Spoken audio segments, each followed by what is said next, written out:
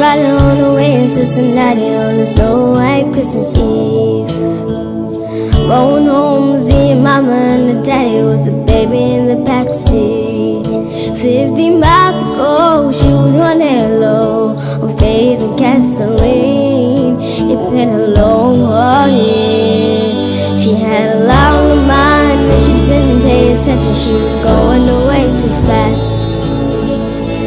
Before she knew, spinning on a thin black sheet of glass. She saw bold lights flash